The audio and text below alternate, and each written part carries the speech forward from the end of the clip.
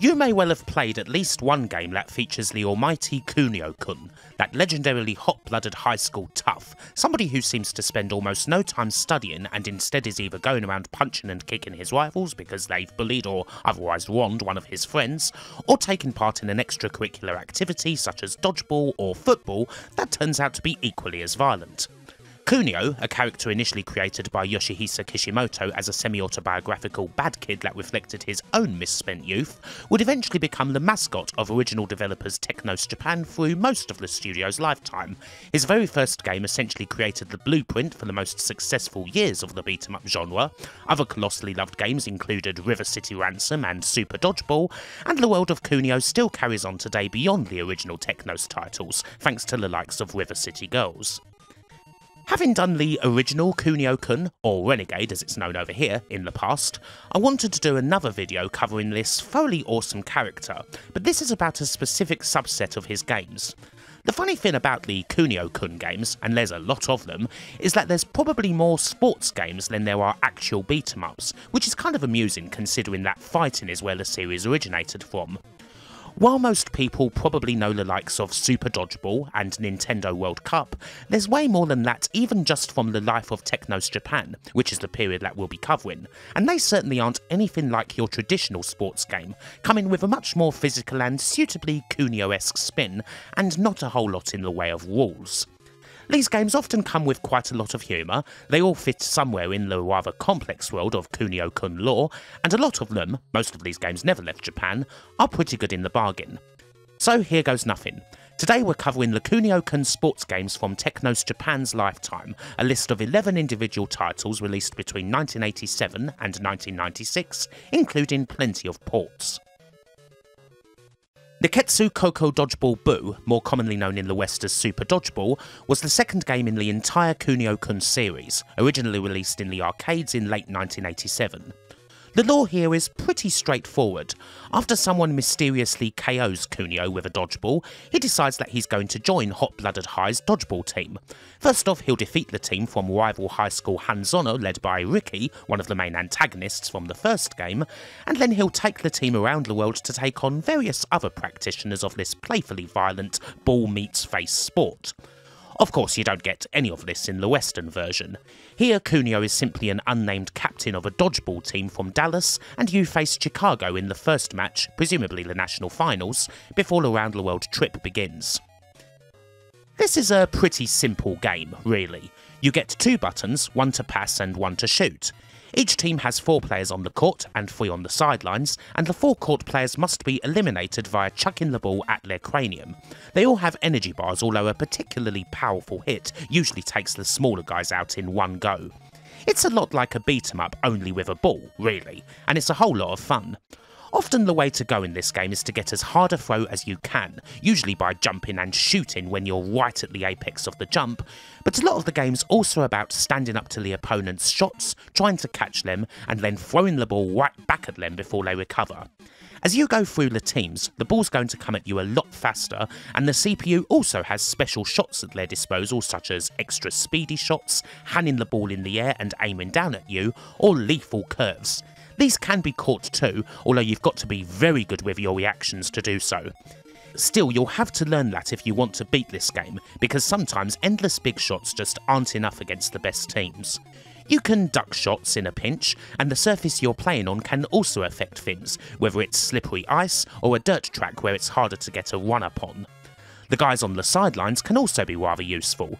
You can pass the ball around them and try to keep the opponent guessing as to when you're actually going to shoot. But of course, the opponents can do this too, so you're always on your toes. The hot-blooded team only ever consists of the much bigger Kunio and everyone else being normal sized, while the other teams, well, they just keep getting bigger and bigger, it has to be said.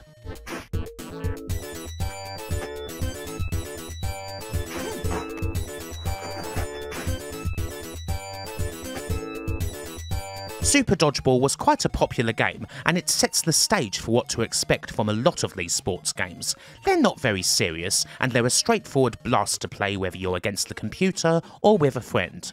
Dodgeball in particular is a sport that just makes total sense for the Kunio Kun series as a whole, so it's no wonder that a lot of the sports titles connected to the series ended up being dodgeball related, whether it's the ones released by Technos or the games that were released after they'd gone bankrupt.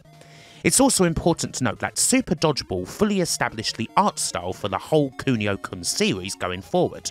Whereas the characters in the original Nekketsu Koha Kunio-kun were normally proportioned, it's only here in Super Dodgeball where they get the more super deformed big head style that would be seen in all of the other games in the series. The whole presentation and music is fine too. The soundtrack in particular is very catchy indeed, especially the song from the England stage, which is a rather cheeky mashup of the Beatles songs Get Back and A Hard Day's Night.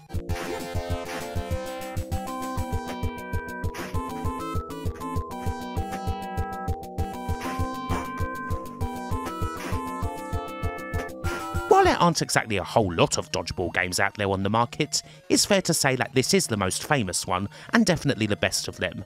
And naturally, it received quite a few ports.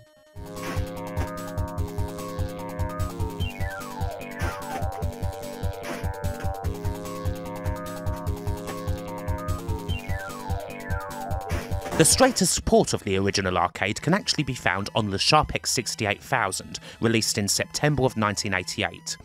The X68000 is known for its accurate arcade ports, and this is no exception. There's not an awful lot of difference between this and the arcade, and there's even some subtle little improvements such as the addition of a bit of parallax scrolling. Still, the most famous port of the game is obviously the NES one. I'd imagine that, particularly in the West, most people would have originally played this game here in the home rather than in the arcade. The NES game obviously has to make a few changes due to limitations. The characters are now all the same size, and there's now only three characters in the court. Still, the sideline characters are still there, meaning there's quite a lot of sprites on screen, enough that they will indeed flicker and disappear from time to time because the game's gone over the NES's sprite limit. Now, of course, if you happen to be playing this on emulation, you could futz around with your settings a little and fix it so that they don't flicker at all, but despite this and the game being a little slower, the gameplay isn't actually affected all that badly. I find it's a lot easier to perform the special shots yourself on this version too, something which I've never quite been able to get the hang of when playing the original arcade, and there's also a fun little free-for-all beanball mode that makes for an amusing little distraction. Despite the technical limitations, this is still a pretty good version of the original game, although it is not quite the best version, it has to be said.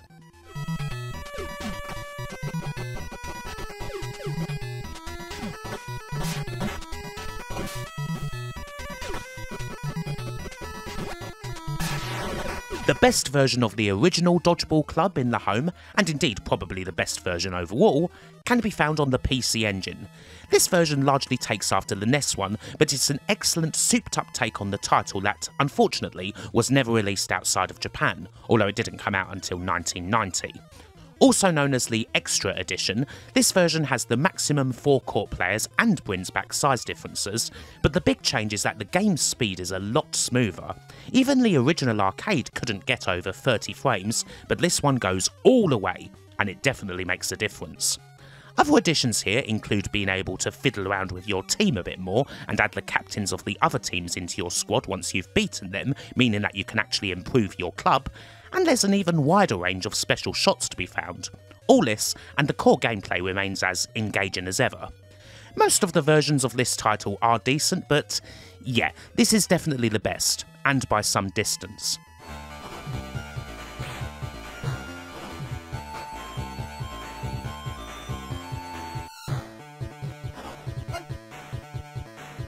The only version I would say falls down somewhat is the Game Boy one, which was released in Japan in 1991 under the name Nekketsu Koko Dodgeball Buu Koteki Dodge Soldier no Maki, or Fierce Rival Episode of the Dodge Soldiers.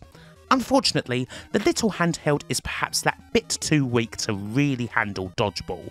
The game's even slower here, and that makes controlling Kunio and the Gan very stiff, you end up running when you don't want to, and a regular match just ends up taking that bit too long.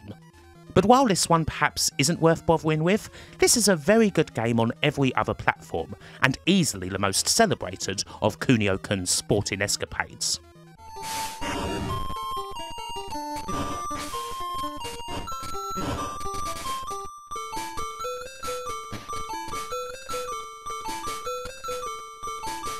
After Dodgeball, Kunio's most famous sports title is unquestionably Nekketsu Koko Dodgeball Buu Soccer Hen, or Soccer Story. This one didn't make it to the arcades, but it was originally released on the Famicom in May 1990, with the Western release later in the year being localised as Nintendo World Cup. How did Kunio switch from dodgeball to footy then? Well, here's the plot.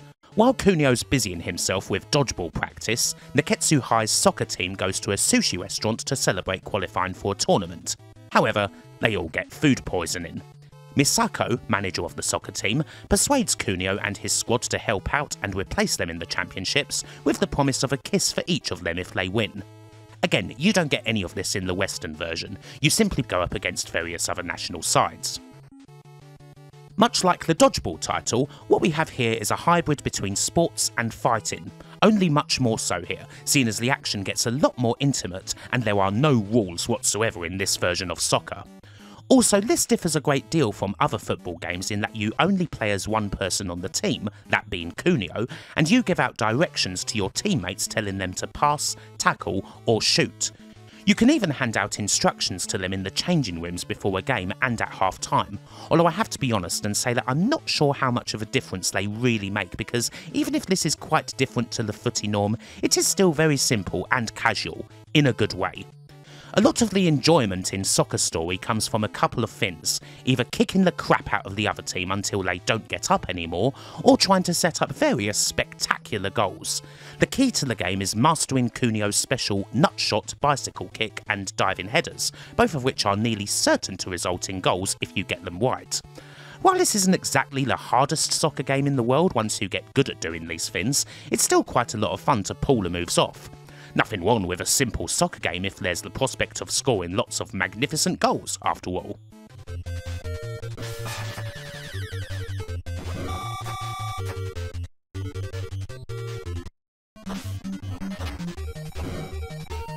This is a very fun little game indeed on the Famicom, although I would stress one thing. You're far better off playing the original Famicom version rather than the Western localization.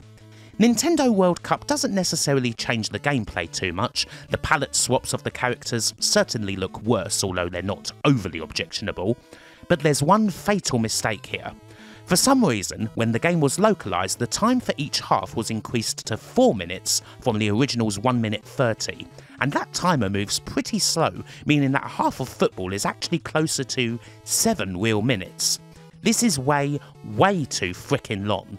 When the game's got shorter halves, it's just right, exactly as pacey as it should be, and it doesn't outstay its welcome. When the half is this long, well, you may well have kicked the other team completely off the field by the time it gets to the finish, meaning that, well, there's not much to do except score and score again, and it starts to get very old and boring. Simply due to this, I really can't recommend going for the Western version of the game at all. It only takes those little changes to completely screw up an otherwise fun and entertainingly casual soccer game. It's also important to note that while the original Famicom version, like Super Dodgeball, features different types of pitch depending on who you're facing, such as desert and snow, Nintendo World Cup does away with all of that and you just play on regular, boring old grass. So yeah, us Western folk kinda got screwed with this one.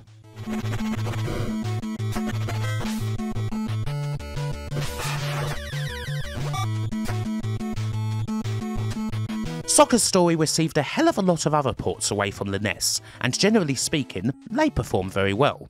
Once again, we have a version of the game on the Sharp X68000 from October 1990.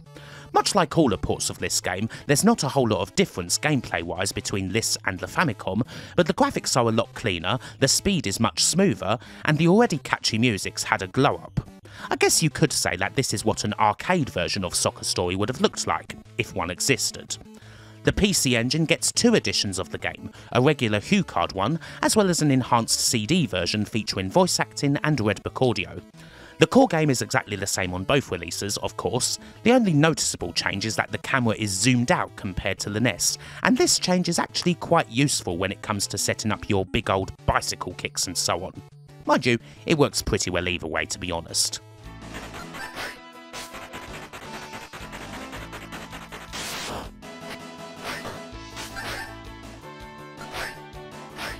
The Mega Drive also got a version of the game, officially released only in Japan but often made available on bootleg and multi-game carts in other territories. This was the one time that Kunio-kun made his way to a Sega system. And again, it's totally fine. There's a couple of changes here. Like the PC Engine version of Dodgeball Club, this one's got a full frame rate, is a lot smoother, and that's welcoming, and you can now power Kunio and his team up by holding a button down, making use of the one extra button this version has compared to the two that all the others are stuck with. Powering up Kunio and unleashing a super shot is another way to score, although honestly, I prefer the simplicity of two buttons when it comes to this game, and I can't say I bothered doing it all that much.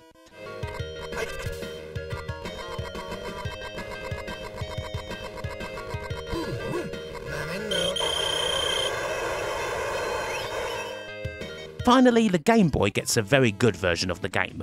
This is based more on the World Cup release, only without the ridiculously long halves, and while this is zoomed in even further than the Famicom original, it plays way better than the Game Boy version of Dodgeball Club. The controls are much easier to get to grips with.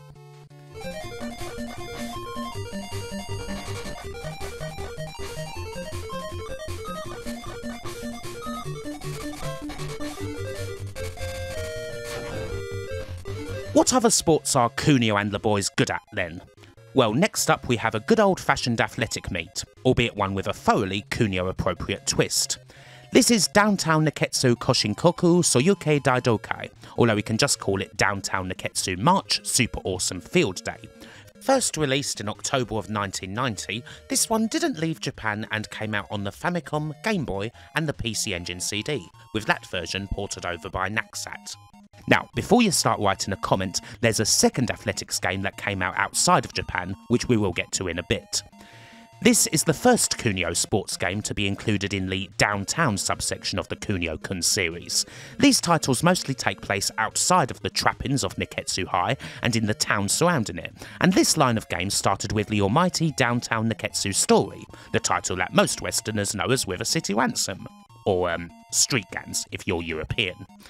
The lore here is that Kunio is challenged to put together a team to take part in an athletic meet organised by Todo, the thoroughly arrogant student council president of Riho Academy, a much preppier private school for rich kids that looks down their nose at the hot-blooded slumdogs that Kunio and company represent. While age-old rival Riki teamed up with Kunio during the events of Downtown Nekketsu's story, he'll also be in friendlier competition against you at the head of Hanazono High. Now I have to admit that I'm pretty bad at this one, at least on the Famicom. I have tried, but perhaps I'm just too focused on getting first rather than beating on everyone as well, which is kind of what you're supposed to do. It's tougher when they're all running. Still, I was able to use a cheaty little exploit on the cross-country event. If you spam throwing a weapon against the wall, you get 5 points each time you pick it back up. So naturally I did this so I could move on. Anyway, Downtown Nekketsu March consists of only four events, but they're all somewhat bulky. There's the first cross-country event, an obstacle course that involves a lot more in the way of jumping and avoiding traps, a regular old-fashioned beatdown where you either knock out your opponent or throw them off the edge, and another beatdown type event where you've got to climb up a pole and punch a ball open before the others. Naturally, most of these events aren't just focused on winning. You also get points for fighting as much as possible on the way, successfully knocking down your opponents or chucking weapons at them in a style that's quite similar to how you'd play Nekketsu's story. If you don't get enough points to qualify for the next event, then it's game over. So you probably shouldn't just be focused on finishing in first place during the races. After all, the races all happen in short segments where you'll be all close to each other at the start of the next, even if you get ridiculously far behind in the previous bit. So yes, you should really just be fighting and causing an interference as much as possible. You do get points for where you finish in each of the segments too, mind you, so there is a bit of a balance. The PC Engine CD version of the game is laid out much the same as the Famicom version, complete with the expected souped up graphics, voiceovers, and a Red Book soundtrack, but you also do have the option of being able to practice the events here, which certainly comes in handy.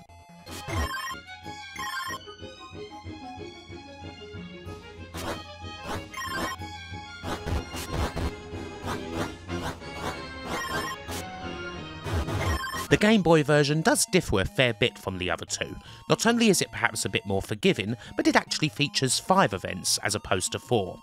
The Game Boy version removes the ball breaking event, but adds in two other beatdown events one where the first athlete to successfully eat a baguette wins, and a bomb tag where the poor sod who's left in charge of the bomb when the time runs out loses. One of the other things you've got to figure out in this game is choosing your team members. The temptation is, of course, to pick Kunio in every event. He is, after all, by far the strongest athlete of the lot. However, he doesn't recover as quickly as other members in your team do, so while he can certainly take a beating, you may want to choose someone else for an event if Kunio takes a little too much punishment. Again, it doesn't necessarily matter too much, you can just choose Kunio for everything if you're proficient enough, although it does show one of the great things about most Kunio games in that, for an 8-bit game, almost every character is wholly individual and named, with not many clones kicking about. That's not something you often saw in games from this generation, it has to be said. Nekketsu March is still entertaining on the whole, even if I am admittedly really not that good at it. I would say that I prefer this first one to the sequel, which we'll be looking at later on.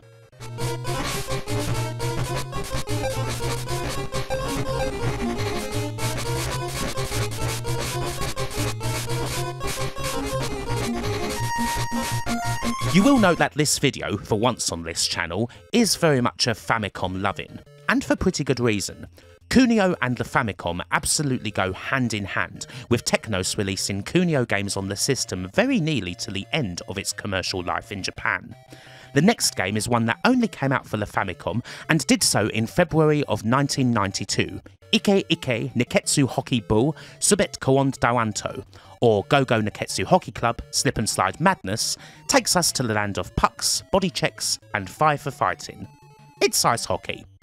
It is kind of surprising that this is the only Nekketsu ice hockey game, really. You would have thought that after Dodgeball, this would be the most suitable sport for our hot blooded hero. But there you go.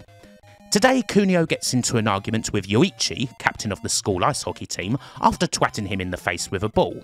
This is a very common form of introduction in Nekketsu High School's yard.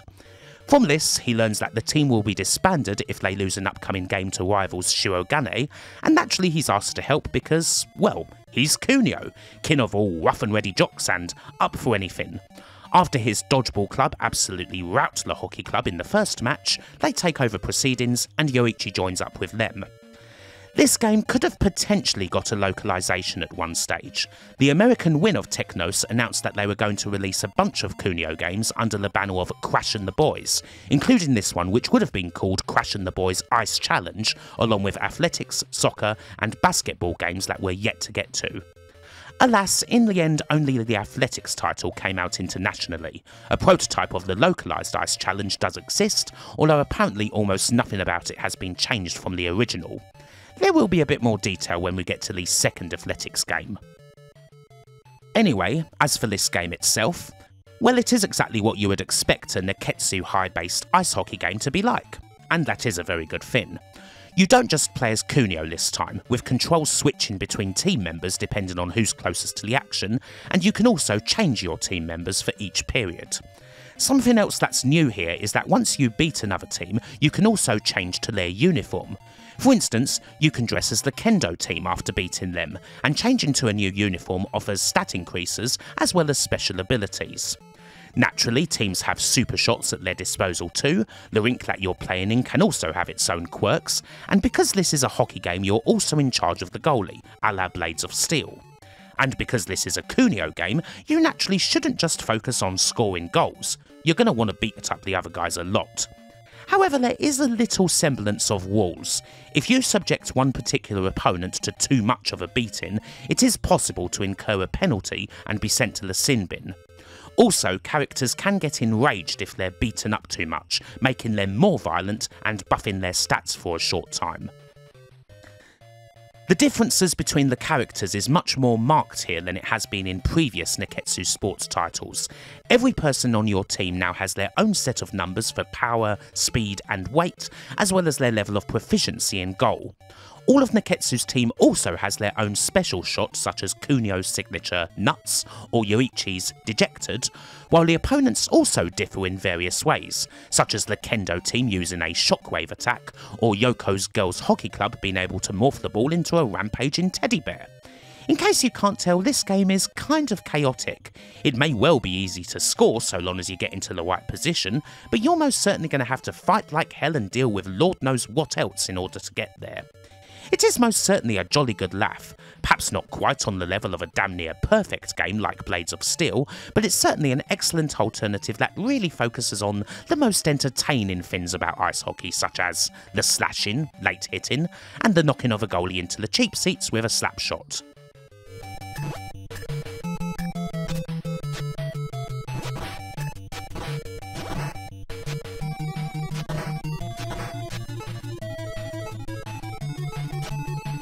Just a few months later, the next Kunio sports game would arrive, and it's the second athletics title. Bikkuri Nekketsu Shinkoku Harukanaru Kin Medal hit the shelves in June of 1992, with a Game Boy version coming the following year, and this one translates to Surprise Nekketsu New Records The Distant Gold Medal. However, this one would be localised and released internationally under the name Crash 'n the Boys Street Challenge, the first game in what was supposed to be a line of titles for the NES that even teases the upcoming Ice Challenge at the ending, but due to poor sales, this was the only game in the proposed series to come out in the West. Our hero's story continues when he's invited to another athletic meet by Todo, who gives a sob story to his oil president father Konosuke so that he can help him out. Konosuke does so by bringing a team of American athletes from Oklahoma into the meet, be lining up alongside Nekketsu as well as the usual suspects Hanazono, Reho, and the Interschool Union. In the Western version, Kunio is replaced with Jeff Crash Cooney, the much admired super jock of Southside High School, while Todo is replaced by Theodore Thornley IV, leader of Washington High. The plot of the game itself is pretty similar to the original, mind you. Once again, I have to confess that I'm pretty terrible at this game. Although Distant Gold Medal is a bit more forgiving in that you can practice the events before embarking on the full meet, and the game doesn't automatically end if you do badly at one of them. There are now five different events available. A 400 metre hurdles where you'll punch and kick at your enemy while trying your best to either jump over or run through the barriers. A rather fun one that mixes the hammer throw with golf. A swimming event where you stroke your way through the city's canal while trying to keep your opponent under the water. A spot of rooftop jumping with the help of pole vaults and unicycles. And finally a straight fight with someone from the other team. The events are generally quite amusing, even if they are also hard. I mean, I don't know. I don't think I'm too bad when it comes to most of the other Nekketsu sports games, but I really struggle with these athletic ones. I think the fighting one is quite interesting. The way it plays with punches, kicks, and grappling thanks to a stamina meter is actually more like a wrestling game, meaning this is the closest thing there is to having one of Technos' brilliant WWF arcade titles on the NES. Still, my favourite events are probably the hammer throw golf and the rooftop jumping. I may be terrible at all of them, but I get the biggest kick out of these. It is a shame that the Western version of the game didn't do any better sales wise, dooming the chances of there being other Crash 'n the Boys games. However, this didn't come out until October of 1992, which was perhaps too late for any new NES title to be a big seller. The name did achieve immortality in another way, mind you. It's heavily referenced in the Scott Pilgrim vs. the World comic, film, and game, where one of the bands is named Crash and the Boys. So there you go.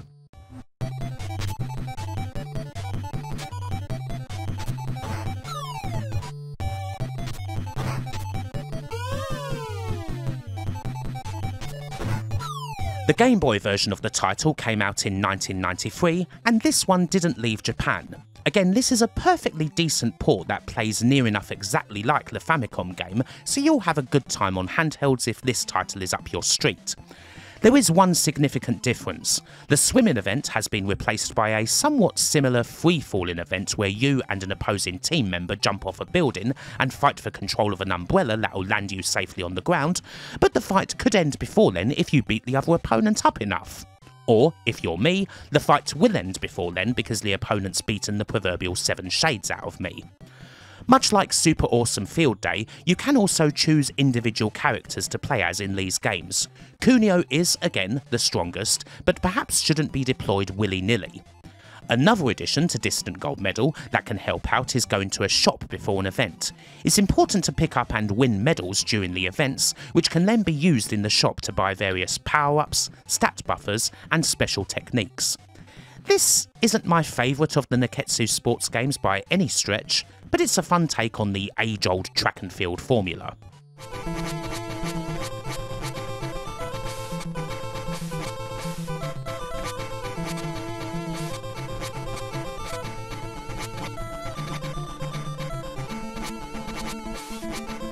It's time for another sequel, the second and final football game in the Kunio line, Kunio Kun no Nekketsu Soccer League, or Kunio Kun's Nekketsu Soccer League. This title never left Japan and was released on the Famicom only in April of 1993, which is, again, a shame if expected. There's not much new in the way of plot here. This simply follows on from the events of the first soccer game, with the soccer club now being sent on a world tournament. Unfortunately, Coach Misako can't accompany the team on this journey, but she does promise again to give them all a big smooch if they win. This takes on a slightly different form to the original.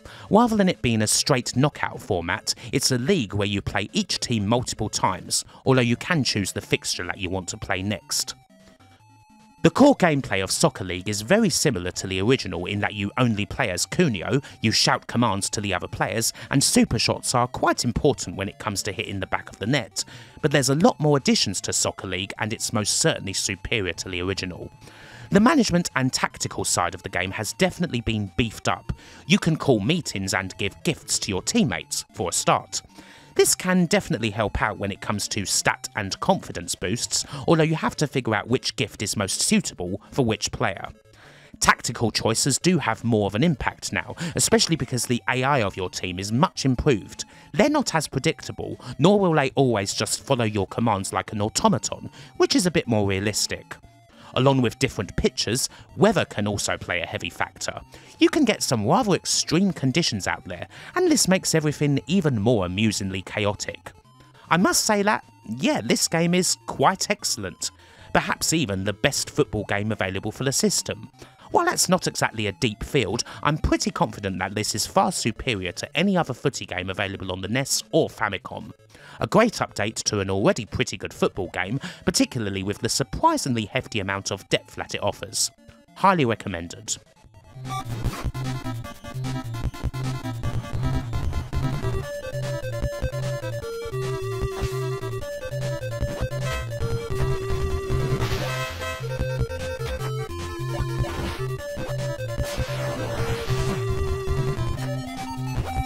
We still have one more Kunio sports game on the original Famicom, but the next game in the timeline actually takes us to 16-bit land.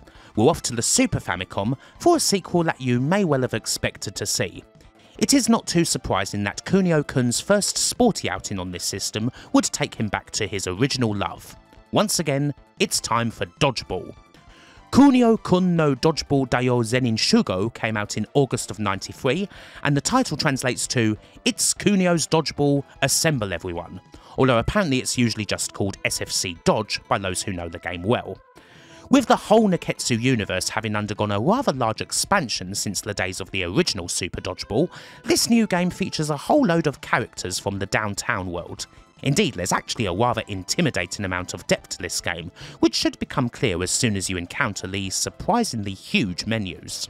SFC Dodge is a lot more simulator-like than its arcade predecessor, that's for sure. You can create your own teams, players, competitions, all sorts. Navigating the menus without a translation is something akin to an absolute nightmare, and I haven't managed to get any of the patches kicking around to work on my setup, which is a shame. By all accounts, there's a lot of rewarding stuff to be found. For a change, this is a Kunio game where you can build your own team completely from scratch, with your characters getting better on every match and all sorts. A real proper dodgeball journey. But there is one big problem. The actual dodgeball game is, unfortunately, pretty low quality.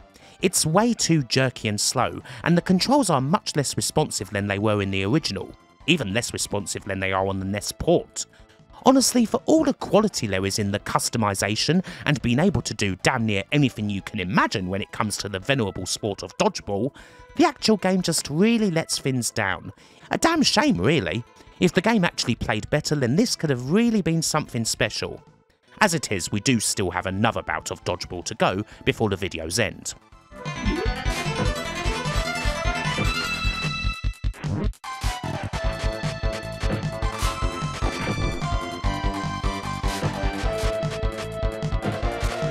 Before that, we've got to add another arrow of sporting greatness to Kunio's quiver. It's a whole new ball game, and this time it's basketball. Nekketsu Street Basket Ganbare Dunk Heroes, or All Out Dunk Heroes, is the final Kunio-kun game to be released for the original Famicom. It came out as late as December of 93, and after a generally fantastic one of games for this almighty system, I am happy to say that this one finishes things on a high. The plot here is even wilder than usual. Kunio wins a quiz show that comes with a ticket to the States as the prize, and he intends to go and visit Johnny, ace of the Oklahoma track team that was introduced in Distant Gold Medal. However, Riki and Godai, fellow top delinquents of Hanazono and Tanibana schools respectively, decide to accompany Kunio on his journey by strapping themselves to the wheel of the frickin' plane. When everyone finally comes together on American soil, they decide to enter a street basketball tournament that takes place all over the country.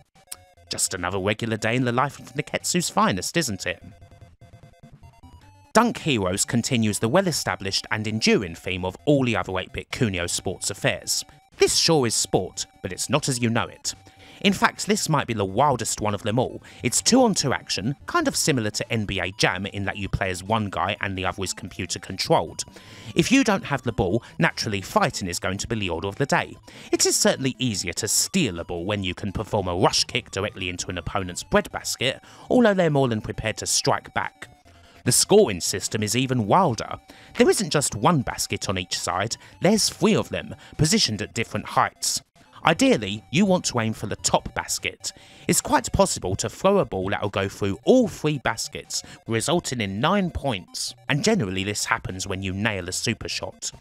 With everyone having their usual abilities, the courts also having their usual quirks, and the speed of the whole thing, this all becomes a load of casual fun, a really great party game. It's the sort of game where it's actually quite easy to score against yourself if you're getting too frazzled by the pace of the action, but that's kind of intentional because it's not like you're supposed to take the whole thing seriously. In short, yeah, this one's terrific. One of the very best Kunio sports games, possibly the best basketball game on the whole system, even over Double Dribble, and a great way for our hot-blooded street tough to finish things up on the Famicom. Absolutely one of the games from this vid you should play now if you haven't.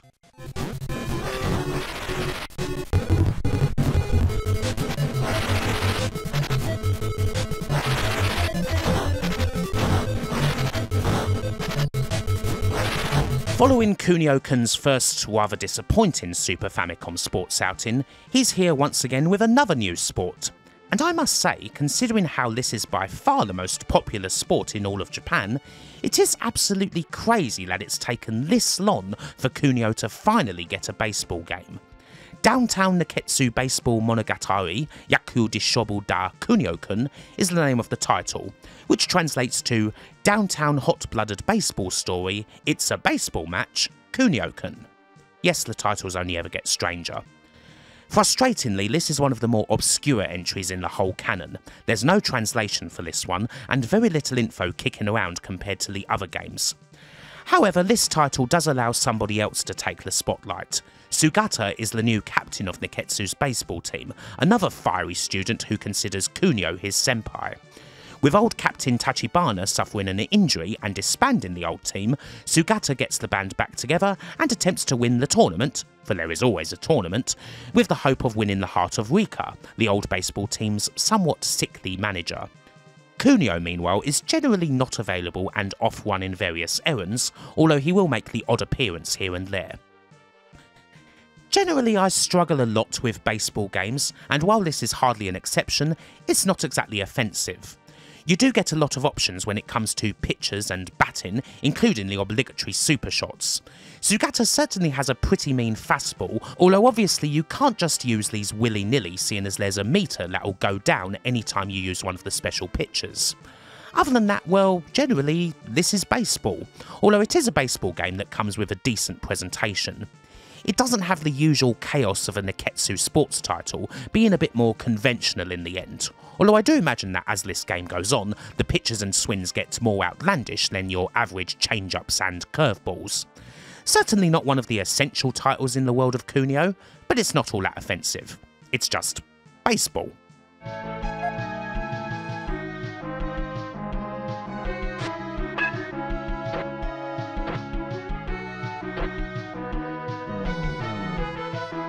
The next game, our second to last title, is possibly the most obscure one of the lot.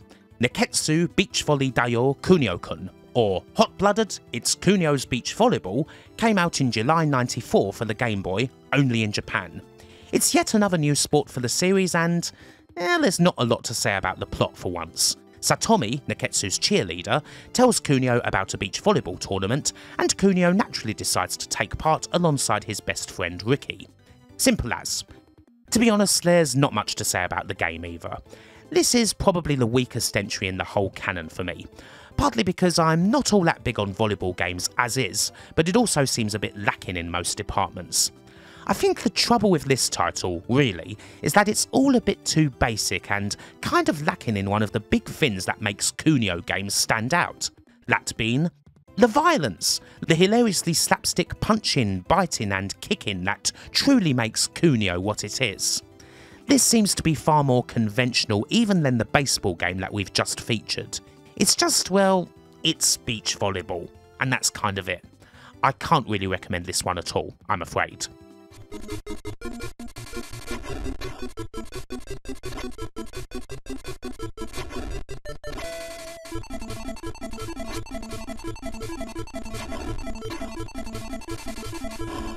So, here's the last game in the video. Kunio no Nekketsu Dodgeball Densetsu, or Kunio's Hot-Blooded Dodgeball Legend, was released in 1996. Not only is it the last Kunio sports game by Technos Japan, it's their last Kunio game full stop. In fact, it's the last game the studio would ever make, for reasons we'll get into. And it takes us back to where it all began. We're in the arcades again, and it's a game that in the US is simply known as Super Dodgeball. This time around, the game is published by SNK and uses their Neo Geo MVS system, and it never officially came out in Japan.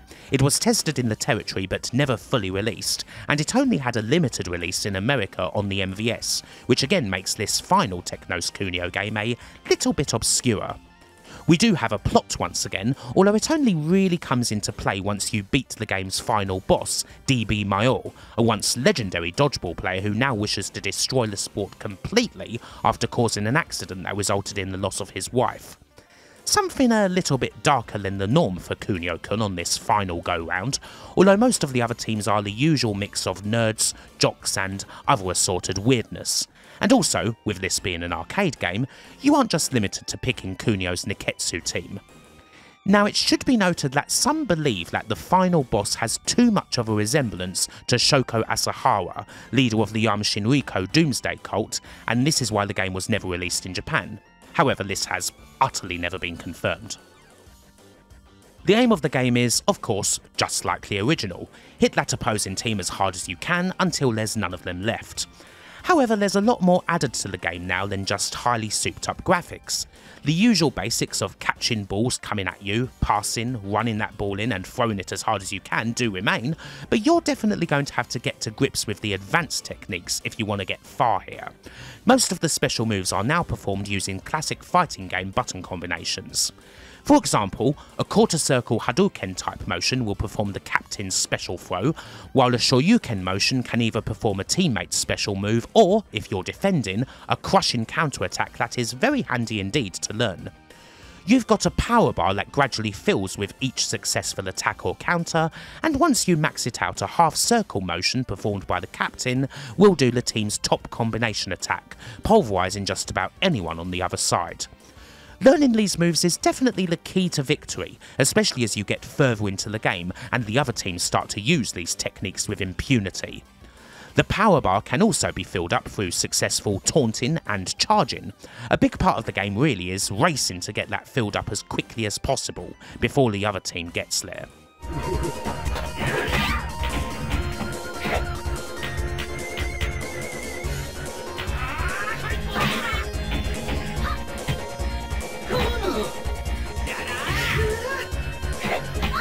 In the end, Dodgeball Legend is a pretty worthy update of the original title. The graphics have still managed to retain that charm, the scope of the gameplay was successfully widened with all the new techniques and the ability to recruit opposing teams' captains once they're beaten, and it is definitely the best Kunio sports game by some distance outside of the series' traditional 8-bit surroundings.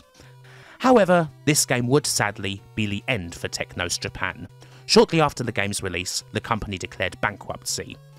It appears as though Technos were one of the main video game companies to fall victim to Japan's Great Recession in the 1990s. Real estate acquisitions were one of the main causes of their cash flow problems, and this combined with the need to expand in the second half of the 90s for the new generation would eventually be too much for them, as was the case with various other smaller studios around the world. While Technos never experienced much in the way of a decline, with the large majority of the games that they released very much being quality, it was a sudden and surprising end for Technos and for their mascot Kunio-kun. Happily, a few years later, Technos' assets would be acquired by Million Corporation and Atlus Japan, Initially, this resulted in compilations of Kunio games for platforms like the Game Boy Advance, and eventually fully fledged all new Kunio titles would start coming out, including some sports ones. Nowadays, the Kunio series is back in rude health thanks to the exploits of Arc System Works. Some of the most celebrated beat 'em ups of the last few years, games such as River City Ransom Underground and River City Girls, have come out under the Kunio banner. There's also been a few sports titles to shout about through this new era for the franchise, but it is perhaps best to draw a little line here and look at these another time perhaps. Technos' Kunio sports line is a very interesting one of games. There's a lot more of them than you think, and it's certainly one of the more intriguing approaches that a studio has had towards building a mascot, taking him out of the beat 'em up where he originally made his name, and putting him in all sorts of different and ever crazier situations, complete with a whole load of humour and tons of fun. Most of these games are absolutely worth playing, and hopefully you find something cool out of this that you've not looked at previously. In any case, I hope you've enjoyed this video, and until the next time, bye for now.